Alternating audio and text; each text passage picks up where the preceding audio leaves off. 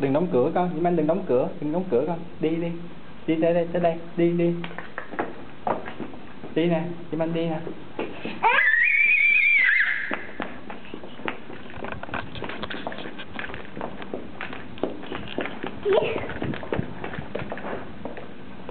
Diễm Anh đi đâu vậy?